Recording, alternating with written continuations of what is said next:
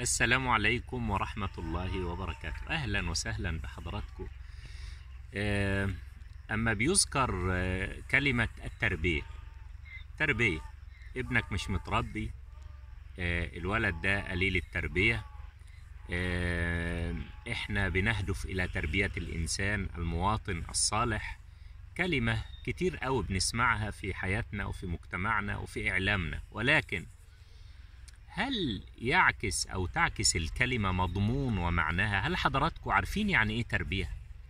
يعني إيه آه، معنى ودلالة هذا المفهوم؟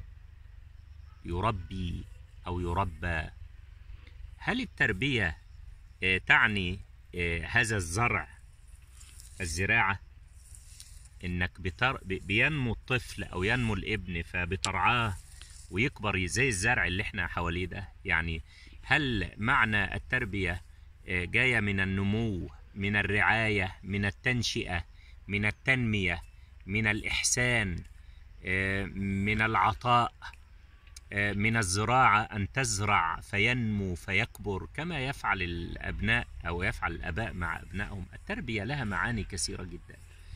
ورب الشيء إلقائم عليه.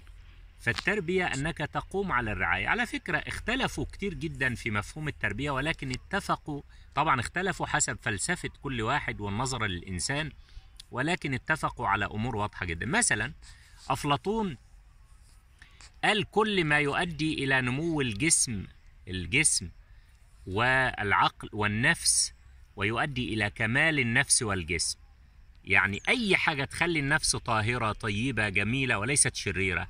والجسم أيضا ينمو نمو طبيعي كل ده أحد أشكال التربية.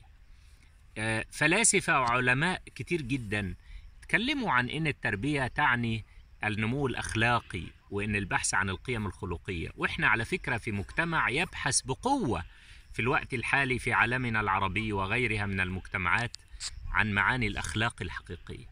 الخلق كقيمة كبيرة جدا للأسف الشديد غاب وضاع وضيع. لا حديث عن العطاء ولا الإيثار ولا الحب ولا التواضع ولا معاني الخلق بمعناه ودلالات ولا تربية لدى الأبناء بالمدرسة لأن المدرسة لم تعد تؤدي الدور المطلوب منها في هذا الأمر. أرجع تاني لمفهوم التربية. قد يعني ال- البناء الأخلاقي للإنسان قد يعني البناء النفسي للإنسان قد يعني التوازن والنمو للإنسان نمو مهم. التوازن العاطفي للبشر ورعايتهم رعاية كاملة والاهتمام بهم ولهذا وأنا بختم المداخلة الأولى ضمن أهداف التربية قد تجد أن هناك تربية بيئية آه، أنك تربي الإنسان على احترام البيئة ورعايتها يبقى إذا لا مجال للتلوث لا مجال للعنف لا مجال لاستخدام الطاقة النووية وغيرها في الأغراض غير السلمية. آه، بتتكلم عن التربية الاقتصادية كيف نربي البشر على الاهتمام بالاقتصاد ونمو ورعايته. بتتكلم عن التربية الاجتماعية بتتكلم عن التربية السياسية. شوفوا التربية في كل شيء وبالتالي قيمة التربية لكونها في كل شيء يستوجب إن إحنا نقف أمامها ونتكلم عنها ونحلل هذا المفهوم ونتعرف عليه أكتر. وده اللي هنكمله مع بعض في المداخلة القادمة إن شاء الله. انتظرونا في أمان الله.